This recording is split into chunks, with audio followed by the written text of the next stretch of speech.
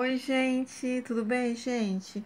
Olha só, gente, para quem não me conhece, meu nome é Mary Regina, sou cabeleireira há mais de 15 anos e instrutora de cabeleireiro. E hoje eu venho, através desse vídeo, tirar algumas dúvidas sobre fundo de clareamento e altura de tom. Ainda, é, com todas as informações que nós temos na internet, tem muitos profissionais que ainda têm muita dúvida sobre isso, tá? E aí eu espero que através desse vídeo eu venha tirar uma dúvida, as dúvidas de vocês. E se vocês tiverem mais dúvidas, é só perguntar aqui abaixo, né, nos comentários, aqui abaixo no vídeo, que eu faço outro vídeo explicando melhor, tá bom? Vocês estão vendo aí uma, uma tabelinha vermelha do lado direito, tá? Vermelho, laranja e amarelo, tá vendo? Então, aí nós chamamos de fundo de clareamento, certo? Vamos fazer de conta que que essas tabelinhas são fios de cabelos, tá?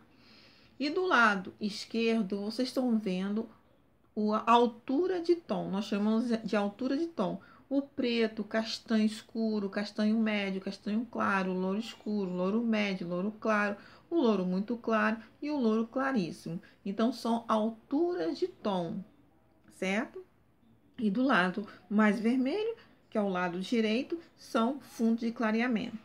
Então, eu quero abrir um cabelo virgem, tá? Eu quero abrir um preto, quero clarear um preto na altura do quê? De um 8, tá? Que é um 8 claro. Que é, oh, desculpa, que é um louro claro. Então, para que eu possa pegar esse preto e, e, e eu colocar uma tinta, né, uma tintura no número 8, eu tenho que abrir ele no amarelo, até no amarelo, do lado direito, certo? Então, Toda vez que a gente vai descolorir no cabelo que ele é preto, número um, ele é preto, então ele vai tendo um processo de clareamento, um processo de fundo de clareamento. Então, toda vez que a gente, por exemplo, eu tenho um preto, mas eu quero usar um louro escuro. Então, eu tenho que abrir esse cabelo até o laranja, certo? Para poder aplicar esse louro escuro. Não adianta eu, ter, eu fazer, pegar um, eu quero um louro, né? Um louro escuro, aí eu tenho um preto e vou clarear esse cabelo até no amarelo claro.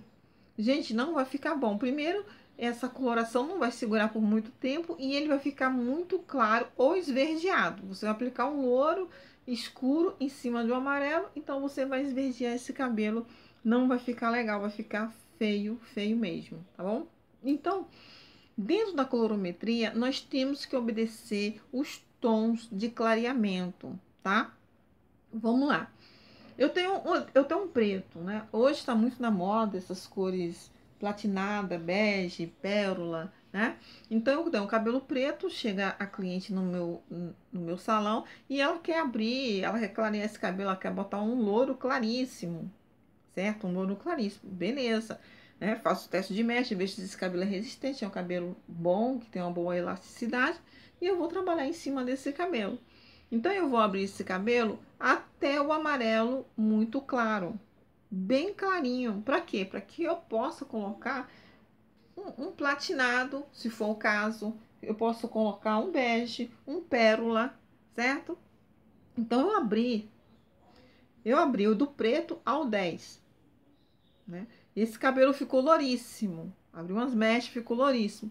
Mary, com que cor eu vou matizar esse cabelo? Eu posso matizar ele com 81? Não.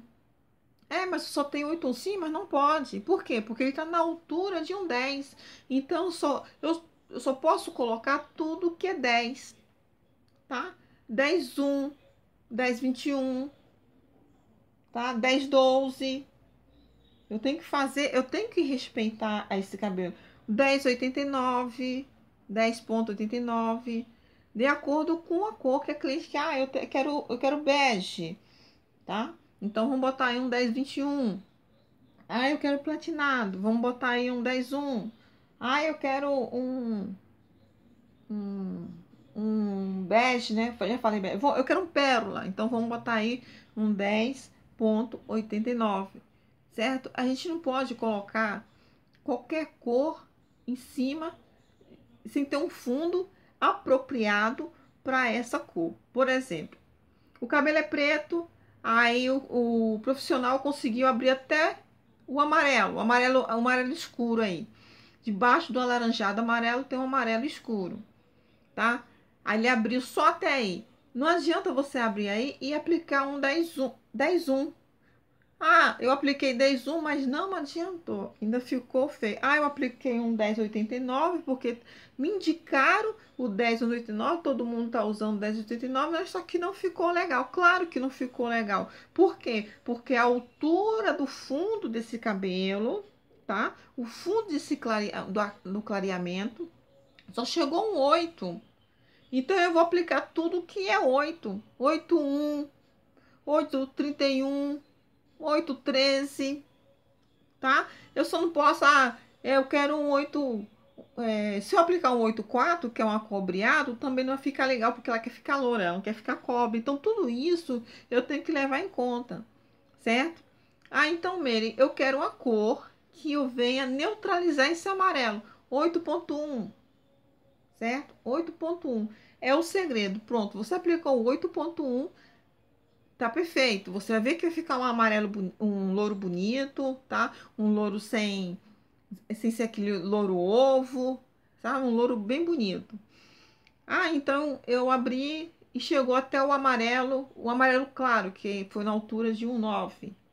Então eu vou aplicar tudo que é 9 nele, né? Então, tudo que é 9 não de acordo, né? Porque nós temos o 91, o 921, o 912, o 989, certo? Aí eu posso aplicar. Obedecendo que? Cada cartela, cada profissional, cada é, produto, né? Cada marca de produto, ele tem uma numeração que corresponde àquela cor que nós desejamos, certo? Eu posso estar falando aqui para você que o 89 é pérola, aí na sua cartela de cores não é. Eu posso estar falando para você que o, o, o, o bege é 21 e aí na sua cartela não é, já é 12. E aí vai, entendeu? Então a gente tem que prestar atenção nessas coisas assim, porque as cores têm nome, mas o que o que prevalece são os números. Eu tenho que saber qual é a, aquele número que é, é, que cor lhe corresponde, tá? Que reflexo lhe corresponde. E eu tenho que saber também qual é o reflexo que vai neutralizar aquela cor que eu não quero, aquela cor indesejável. Tudo isso eu tenho que ver, tudo isso você tem que prestar bem atenção, porque você, primeiro você tem que estudar as misturas das cores, é, a estrela de Oswald, e aí depois você vai entender realmente o fundo de clareamento.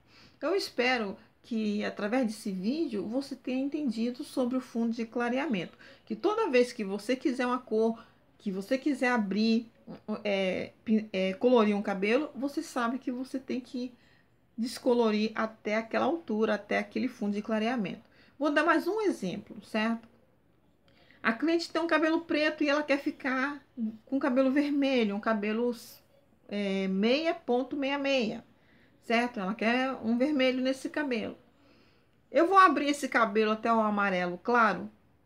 Claro que não, porque aí ele não vai ficar vermelho, vai ficar laranja. Ele pode até ficar vermelho hoje, quando chegar em casa vai sair tudo e ficar laranja. E ela fica pé da vida com você. Então, eu tenho que abrir esse cabelo na altura de um 6, um alaranjado, já puxado para um vermelho. Para quando eu aplicar esse vermelho, esse cabelo, esse vermelho fixar nesse cabelo, certo? Então, gente, tá aí a dica, tá aí, espero que vocês tenham gostado, tá bom? Aqui abaixo do vídeo eu vou colocar um link de um curso, que é o curso de Alejandro Valente.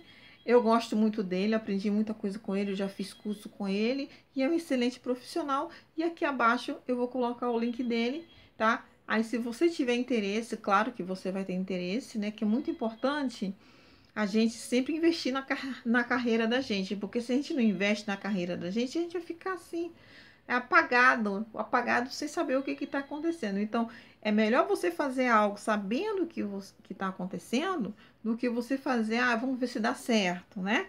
Então, o melhor profissional não é aquele que faz e acerta, é aquele que erra e sabe corrigir, certo? tá bom? um beijão, gente, e até mais. Tchau, gente!